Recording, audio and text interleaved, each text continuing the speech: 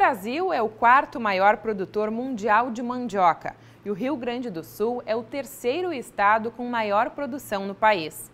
A Emater orienta produtores que se dedicam a essa atividade através da assistência técnica e extensão rural social. Uma das famílias que são acompanhadas pela Emater é a família Munhoz, de Barra do Ribeiro, que está cultivando a planta, beneficiando na agroindústria e tem a venda garantida em uma grande rede de supermercado. A mandioca, considerada uma das plantas mais antigas do Brasil, foi eleita pela ONU como o alimento mais importante do século XXI em razão da facilidade de produção em condições adversas e reconhecido potencial nutritivo.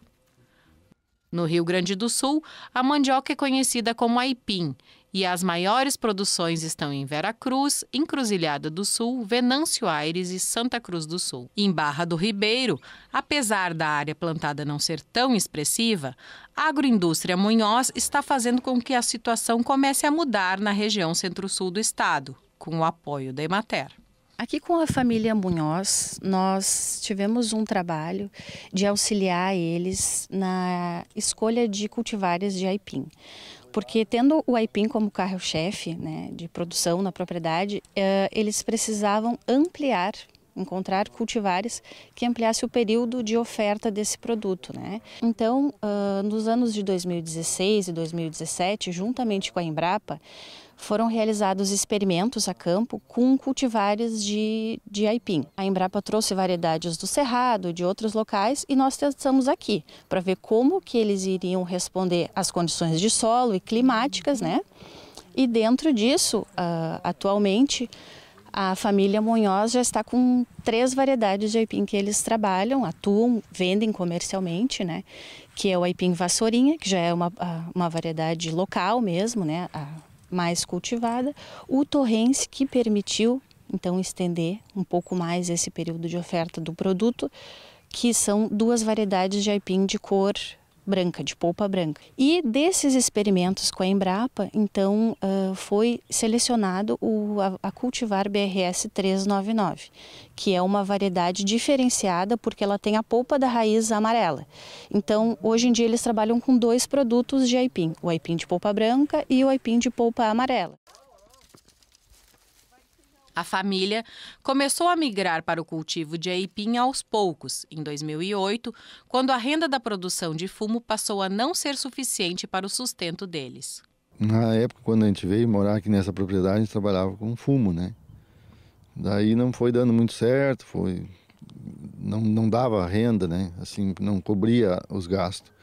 Daí a gente teve que pensa, começamos a pensar em mudar alguma coisa. Aí a gente plantou dois anos aipim, um pouquinho, né? Aí a gente achou que, que tinha alguma sugestão de continuar ali, né?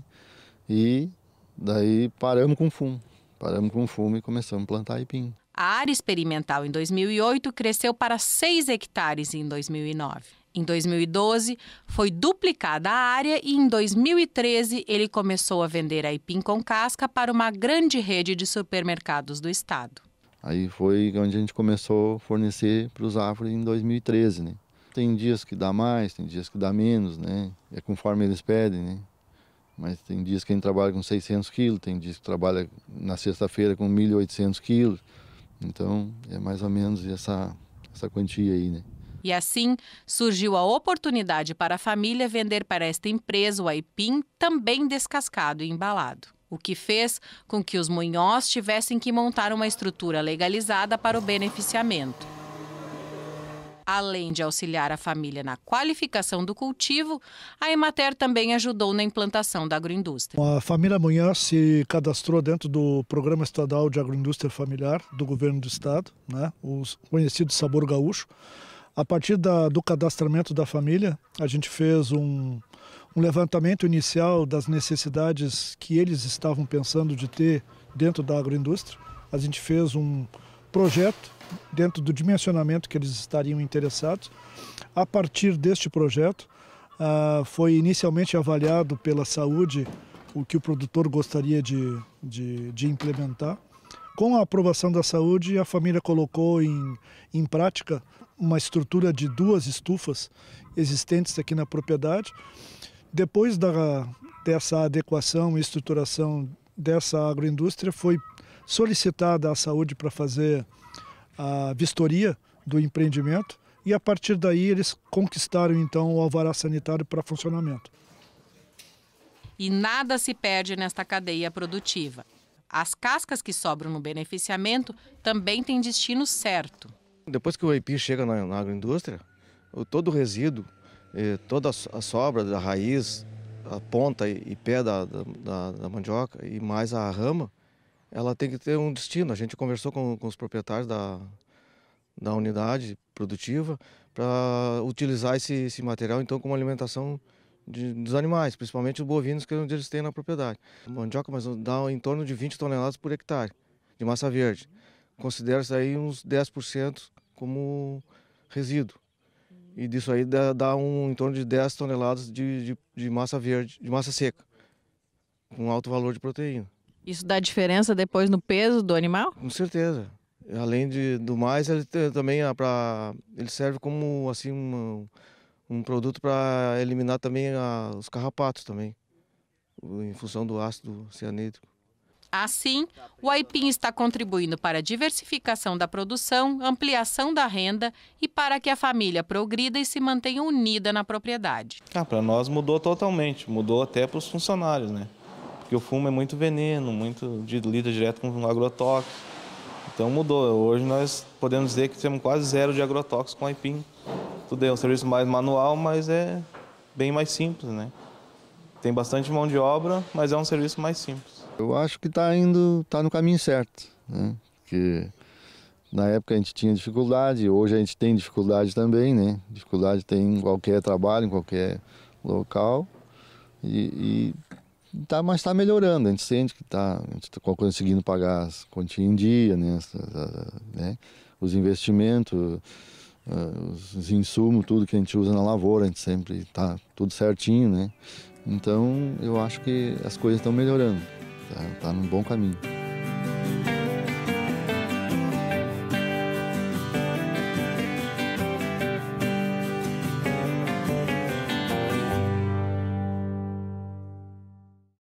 O solo é o maior patrimônio de um agricultor. Mas qual a melhor forma de se ter um bom solo que garanta boa produtividade? Para iniciar o planejamento das lavouras, os engenheiros agrônomos recomendam fazer a análise de solo.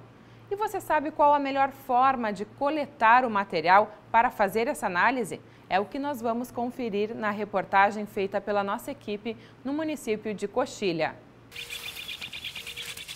O laudo de análise de solo emitido pelos laboratórios de análise tem o objetivo de demonstrar a fertilidade química do solo que existe na lavoura.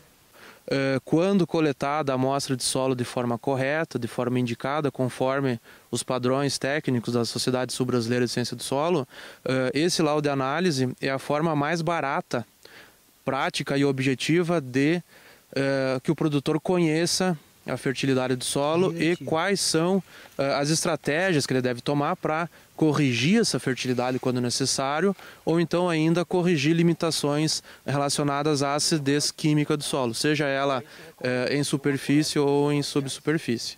É, então a metodologia que deve ser feita, normalmente o produtor ele faz após a cultura né, das lavouras, é, depois que colhe, então ele faz a, a amostragem para poder fazer a recomendação de forma adequada. Mas nada impede que, por exemplo, nesse momento aqui do período vegetativo da cultura do trigo, se o produtor, vamos dizer, ele está um pouco atrasado com a coleta, nada impede ele de vir nesse momento fazer a coleta com o objetivo de recomendar a adubação para a cultura da soja que vem ali no, no nosso verão.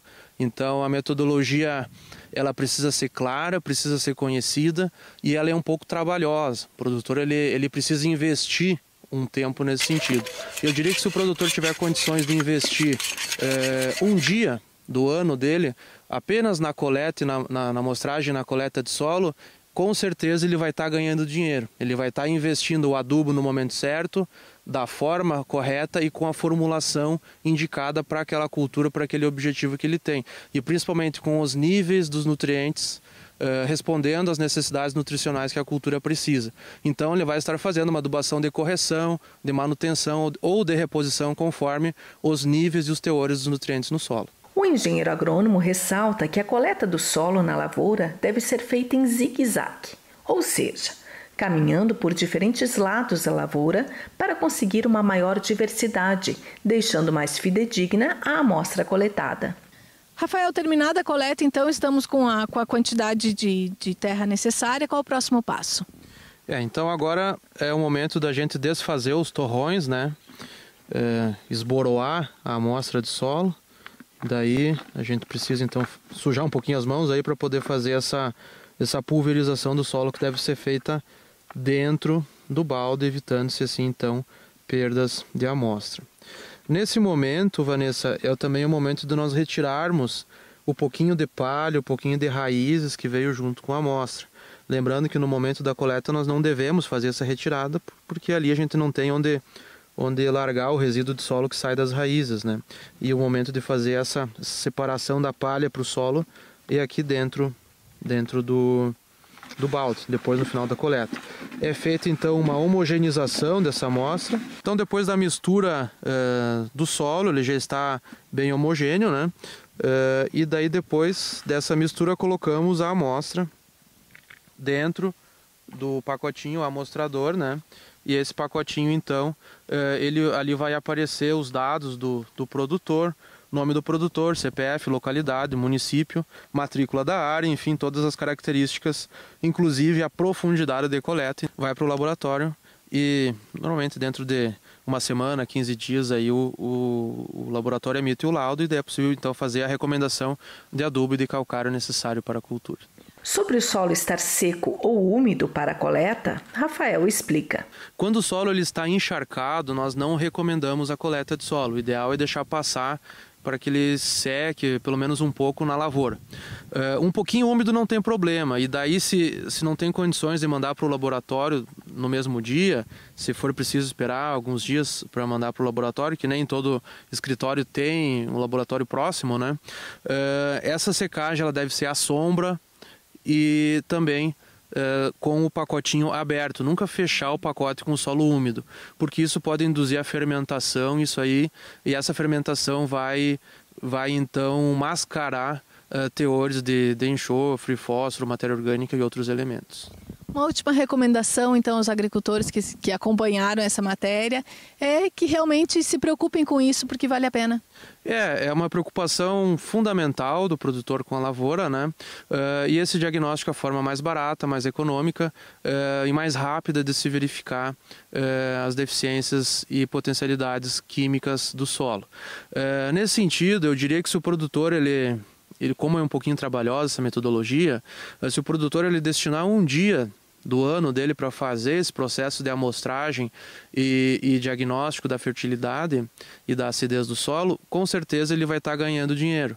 Por quê? Porque ele vai estar tá fazendo investimento no adubo correto, na formulação correta, o técnico também vai saber indicar o corretivo de solo adequado, se esse corretivo deve ter maiores teores de cálcio ou maiores teores de magnésio, e junto com o próprio corretivo da acidez, ele pode trabalhar com esses dois nutrientes em maior ou menor quantidade de acordo com a necessidade.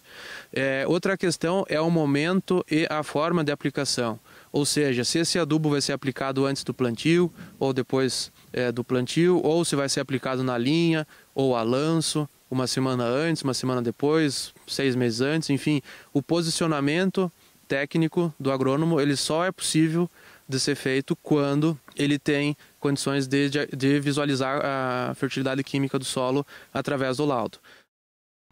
No próximo bloco, no quadro Emater Responde, vamos fazer do limão uma limonada. Vamos mostrar como conservar o suco do limão e na receita da semana, um bolo que agrada os olhos e o paladar. Não perca!